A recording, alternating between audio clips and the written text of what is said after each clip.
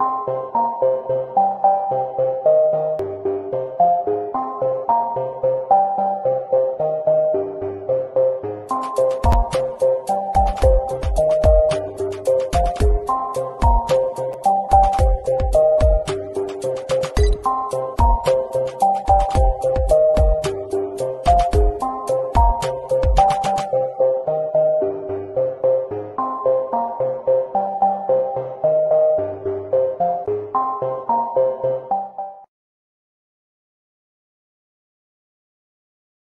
everyone, I'm Jason Mayes, developer advocate for TensorFlow.js here at Google, and today we're going to be talking about how you can give your future web applications superpowers by using machine learning powered by TensorFlow.js. But you might be wondering, as a web developer, why should I care about machine learning? And first up, I just want to start by saying that machine learning could influence every industry out there.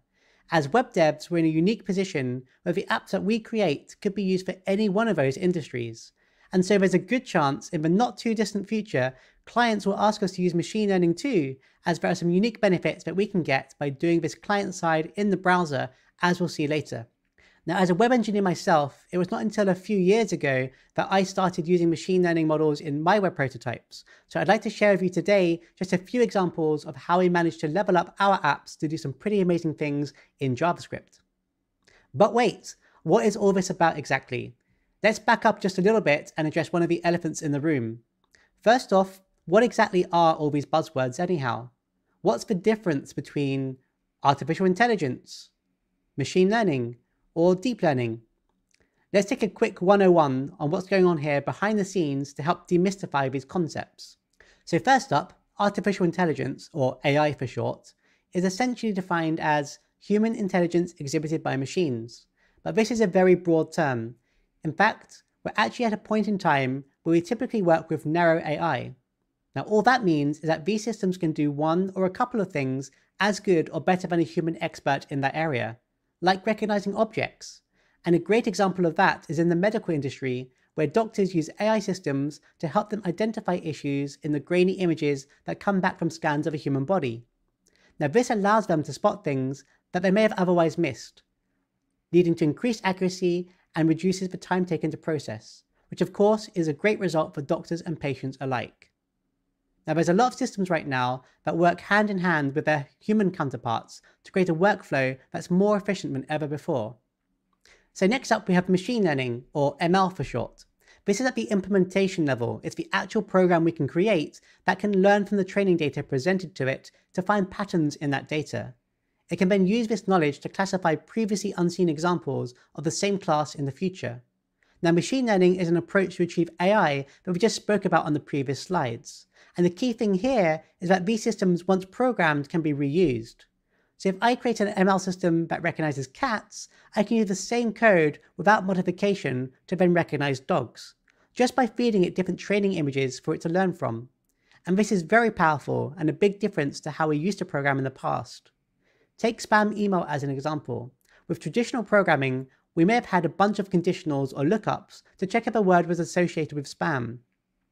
If it was, we'd block the email. However, the spammer can get savvy of this, modify the word just slightly, and then our system is broken.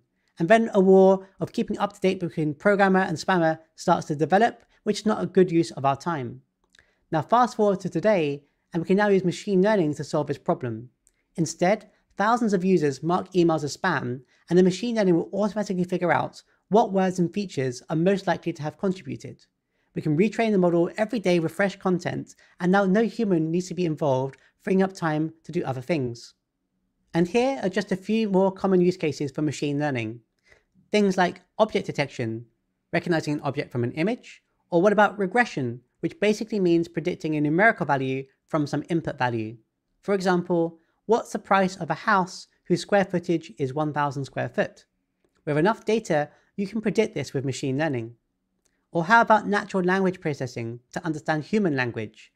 With this, we can mark if a sentence on a blog post comment is toxic, or if it's positive or negative statement. One could use this to assist in blocking trolls on a website before it even gets posted.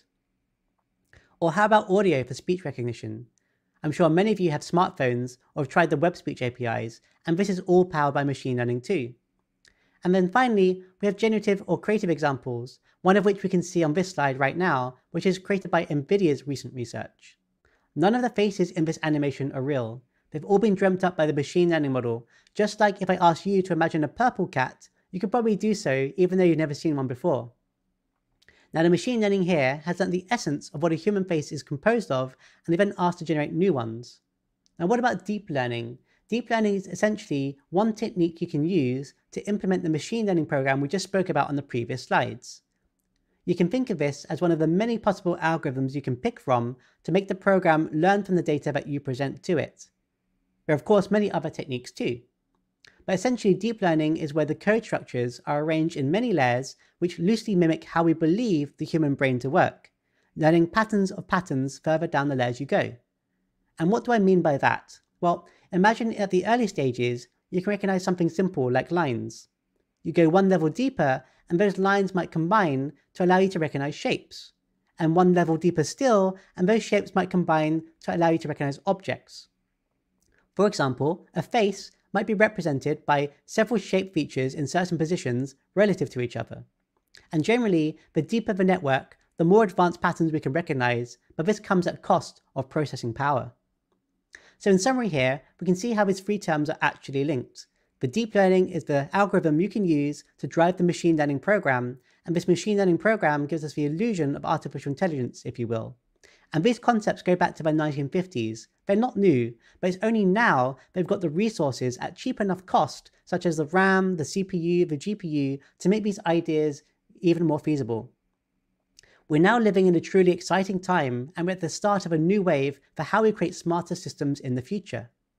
So the next question you might be wondering is how on earth do we train such systems? That's a great question, now, I know we all work in many different industries, so feel free to adapt the following to your own area, but let's do a thought experiment and pretend we're trying to make a web connecting system for farmers who are trying to classify apples and oranges to speed up their delivery of picked fruits that are currently mixed together and need to be sent to the right destinations.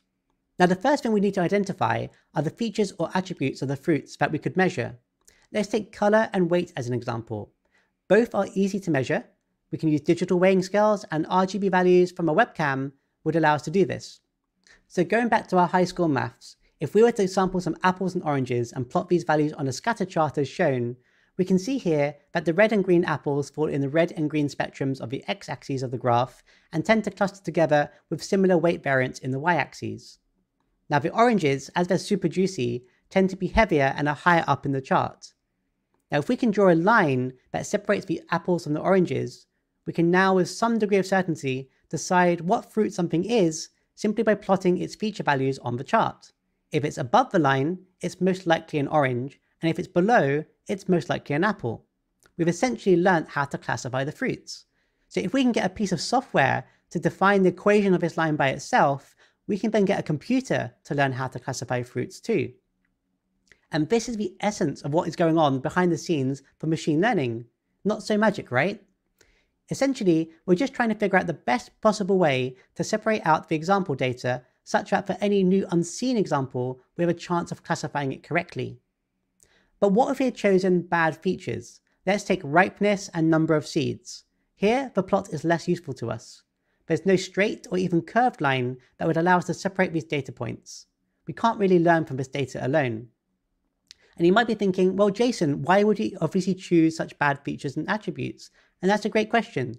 Sure, with this trivial example, it's clear this would be unwise. But what about those medical scans we spoke about at the beginning of the presentation that are just RGB image pixels?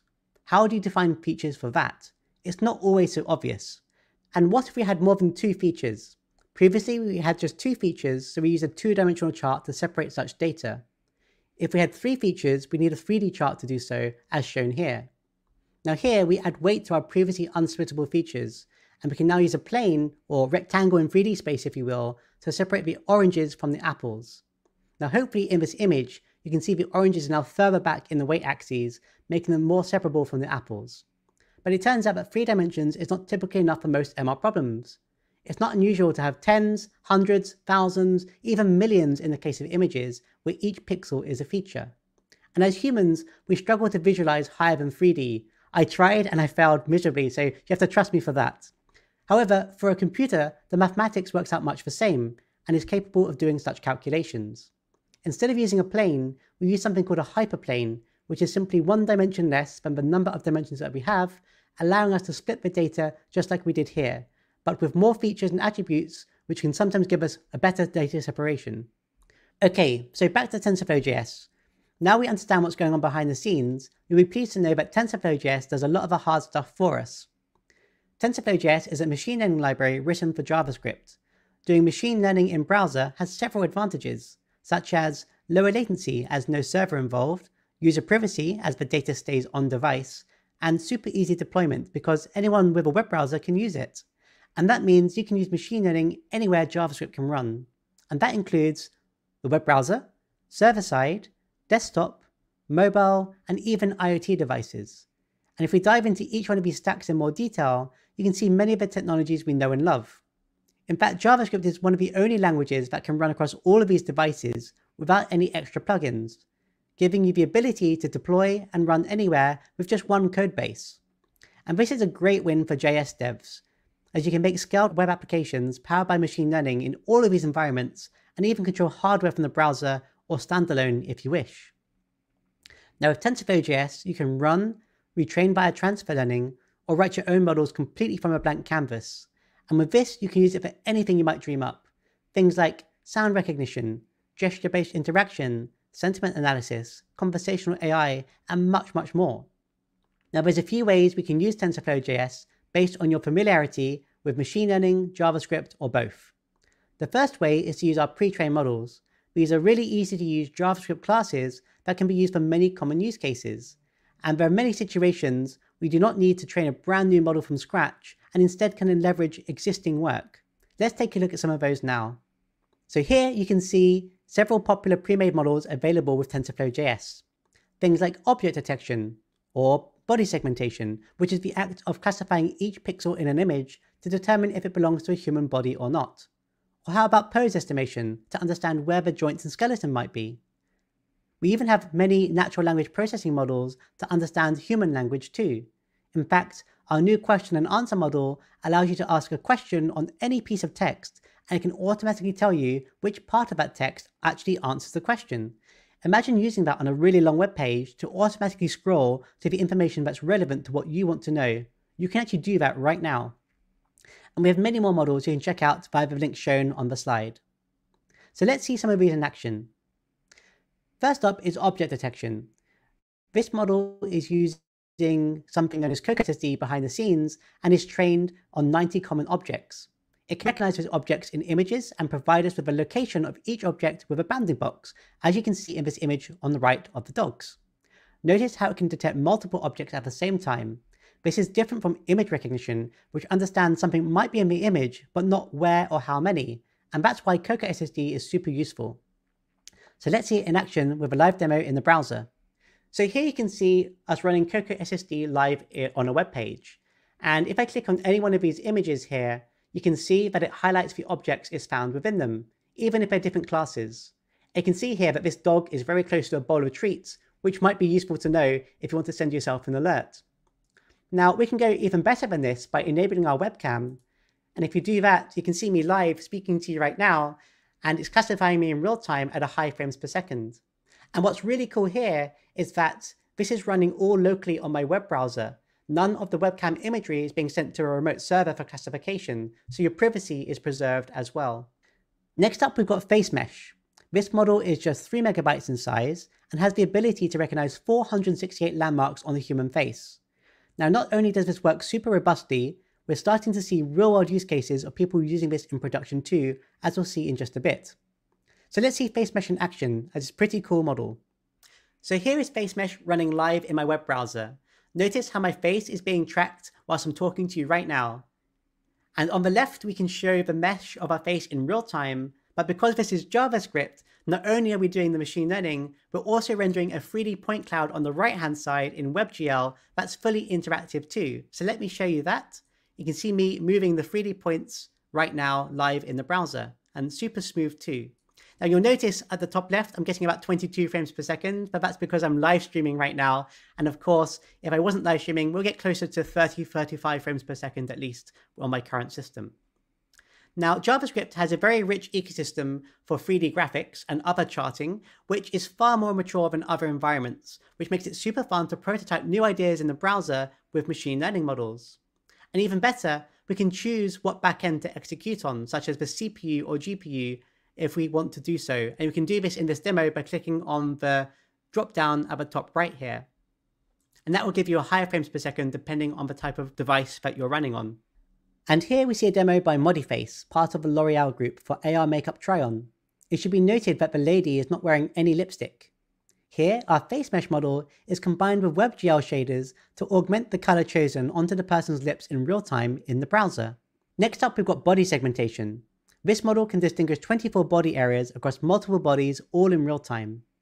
Now this is hard to demo live as I need more space, but notice from the image how the bodies of each person are correctly segmented with different colors representing different body parts. Even better, we get the pose estimation too, those lines in blue, to estimate where the skeleton is, so we can do things like gesture recognition and much, much more. And with a little bit of imagination, we can actually emulate some of the superpowers we were promised from the sci-fi movies. First up, invisibility. This is a more advanced demo than simply replacing the background with a static image. For that, you wouldn't even need machine learning. But notice here how when I go on the bed, the bed still deforms in the image on the right as I move around, or how the laptop screen still plays. This prototype uses BodyPix that we just saw to calculate where the body is not, so that I can eventually learn all the background and keep updating parts where it's safe to do so. Even better, this was made in just one day and runs entirely in the web browser. No background in machine learning is required to run this code, simply click a link and it just works. And no images are sent to the server for classification, leading to real-time results. Next up, lasers. Another member of the community from the USA combined his love for WebGL shaders with TensorFlow.js to enable him to shoot lasers from his eyes and mouth, just like Iron Man. And this uses the face mesh model we previously saw to run in real time in the browser without any issues. Now, whilst this is a fun demo, you can imagine using this for a movie launch to amplify your reach by building a one-click creative experience for fans to drive into excitement. Or how about teleportation? By combining TensorFlow.js with other emerging web tech, we can now create a digital teleportation of ourselves anywhere in the world in real time. Here, I segment myself from the bedroom using BodyPix. I transmit my segmentation anywhere in the world with WebRTC and then recreate myself in the real world environment with WebXR and Three.js. Remember, all of this is running in the web browser, no app install is even required, leading to a frictionless experience for the end user. And having tried this myself, it really feels more personal than a regular video call, as you can actually walk up to the person and hear the audio from the correct direction as if they really are there. In fact, maybe next time when I'm presenting to you at a future event, I might be able to do so in your own room just like this as if I was standing right in front of you. And of course, there are many other delightful creations we can make beyond superpowers. How about this clothing size estimator? Here I created a tool that can estimate your clothing size in under 15 seconds in the web browser to automatically select the correct size of clothing on a website. Now I don't know about you, but I can never remember my sizes for clothing, and with this tool, I simply enter my height, stand facing the camera, and once to the side, and it can automatically choose for me the correct size at checkout. And of course, this means less returns and less time wasted. This was created in just two days and can potentially be used by anyone with a single click at the point of checkout on any website. And finally, we have one more example from the community. Here, someone's managed to bring an image of a model from a magazine to life using WebXR and WebGL. Note that even with these fancy particle effects and machine learning running in the background, this is running on a two-year-old Android device and still the performance is great. Now the second way to use TensorFlow.js is via transfer learning. This basically means retraining existing models to work with your own custom data. Now, if you're familiar with machine learning, you can of course do this programmatically in code, but today I want to show you two easy ways to get started. First up is Teachable Machine. This is super easy to use and runs entirely in the web browser, both for training and for inference, which is the act of using the model to classify something. The best way to explain this is with a demo, so let's try it out.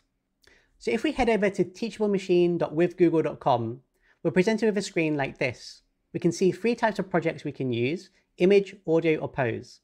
We're going to use image today because we want to do object detection. So click on that and you then see a screen like this.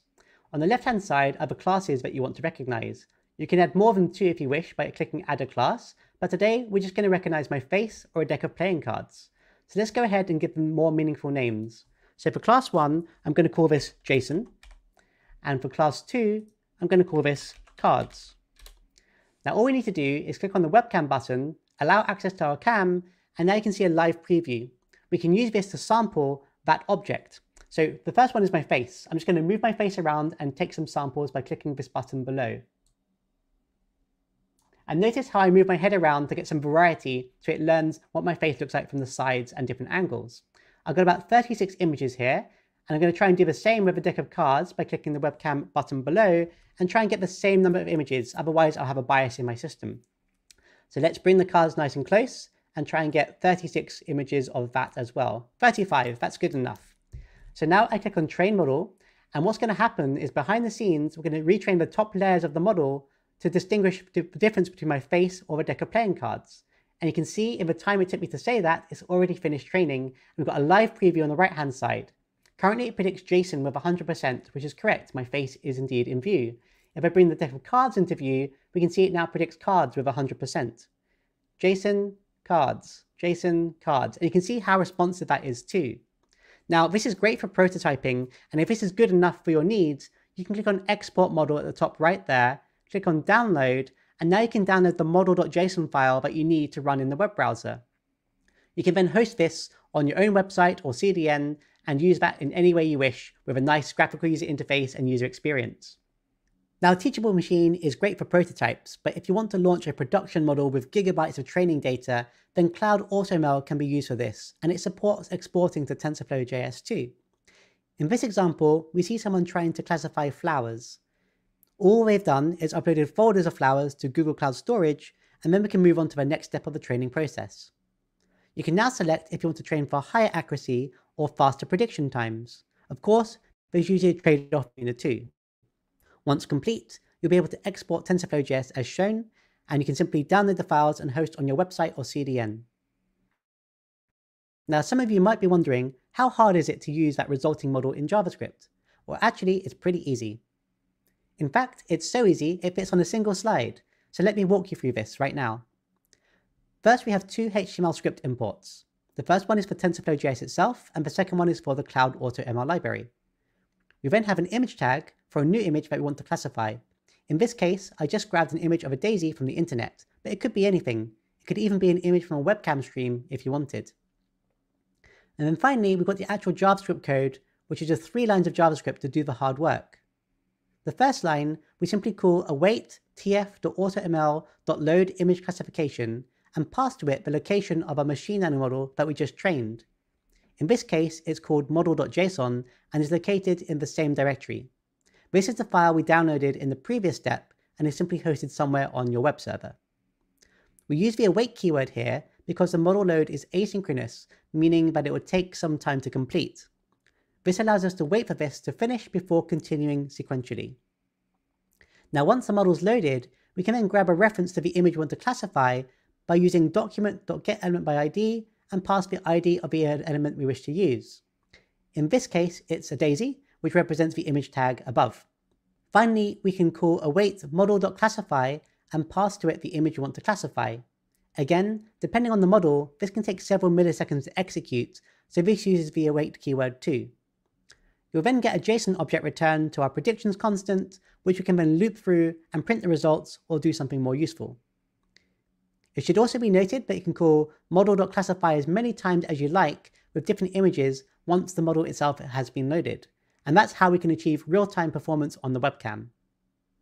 So we've seen a lot of great demos, but what are the core benefits of doing machine learning in JavaScript? Well, first, let's start by explaining the TensorFlow.js architecture. We've got two APIs, and the first one is a high-level API known as the Layers API, which is very similar to Keras if you're using Python already. Next, we've got a low-level API known as the Ops API. This is more mathematical in nature and allows you to do things like linear algebra should you wish to work at that level. So let's see how these all come together. Here you can see how our pre-made models sit upon the Layers API, which itself sits upon the Core or Ops API. Now this lower level API can speak to different environments such as the client side, which includes things like the web browser, for example. And each one of these environments can execute on different backends. For example, the CPU, which is always available, WebGL for GPU acceleration if supported, or WebAssembly, WASM for short, is supported on, for more efficient performance on CPUs. And there's a similar story for the server side too, such as in Node.js. Now, note here that our Node.js implementation can talk to the same bindings that Python TensorFlow talks to, so performance is just as good, or sometimes even better than Python, due to the just-in-time compiler of JavaScript. The other thing to note is that if you're working on a machine learning research team who want to deploy their research to the web, there's a good chance it might be coding in the Python flavor of TensorFlow. And with Node.js, you can execute the saved models they produced without any conversion required, making it super easy to integrate. However, if you want to run a Python saved model in the web browser, then we've got a command line tool that helps you to do that. This will convert the saved model to the JSON format required to use the model on the client side in the web browser. So to wrap up this section, there are five client-side benefits of doing machine learning in the browser that are worth pointing out. The first is privacy. As inference is performed on the client side, no data is ever sent to a third-party server, and that means we can maintain data privacy for the user. This is particularly important for medical and legal industries where it might be a requirement not to transfer data to a third party, not to mention there are growing concerns around privacy these days, and here you get it for free. Next up is lower latency. As JavaScript has direct access to the sensors on device, such as the microphone, camera, accelerometer, and much more, there's no round-trip time to the server to analyze that data. Latency to the server could be close to 100 milliseconds on a mobile connection, but with TensorFlow JS running on device, we can go much faster than that. Next, cost. If no data is being sent to a server, then less bandwidth and hardware costs are required as no CPU, GPU, or RAM are needed to be hired to be running 24-7 for inference. You just have to pay for hosting of website assets and the model files, which is far cheaper. Next up, interactivity. WebTech has been great at this since the very start and has evolved to handle even richer formats WebXR, WebGL, and so on.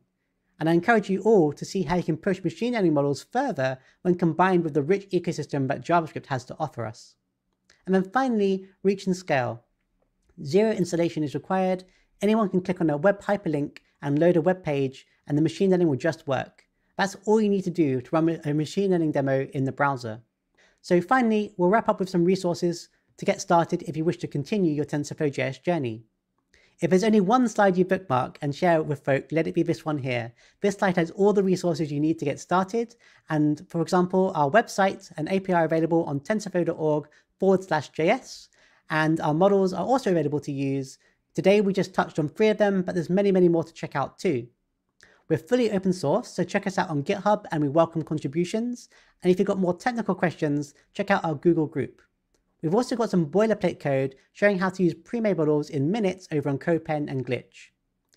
Now, if you're looking for an all-in-one book, Deep Learning with JavaScript by Manning was written by folk on our team and takes you from zero machine learning knowledge to learning how to implement more advanced techniques. Familiarity with JavaScript is the only requirement and no machine learning background is required. Or check out one of our many code labs if you prefer a more hands-on approach. Learn how to make your own smart webcam, just like a Nest Cam in minutes, create custom models, or learn how we make Teachable Machine possible. Also, a quick shout out to our community. Check out the Made with TFJS hashtag on Twitter or LinkedIn to see many more amazing examples that people have been creating. New content is coming out every single week and it's a great way to get inspired. If you make something using TensorFlow.js, be sure to use the hashtag for a chance to be featured at future events such as our show and tells here on YouTube and even on our blog posts. And finally, the only question left is, what will you make? This final example comes from our community member in Tokyo, Japan. By day, he's a dancer, but he's managed to use TensorFlow.js to create his amazing hip hop video with some awesome visual effects using BodyPix. The reason I show this is that machine learning really now is for everyone, and we're super excited to see how TensorFlow.js will enable many more people to start their journey with machine learning. Creatives, artists, musicians, no matter what your background, you can still use models in ways never even dreamt up by the original model creator as you saw from just a few of the demos today, and we're super excited to see what you create. Please do use the Made with TFJS hashtag and find your work. And with that, feel free to stay in touch or reach out with any questions. You can add me on Twitter, jason underscore mayes, and I'd love to hear from you. Thank you Philip, and see you next time.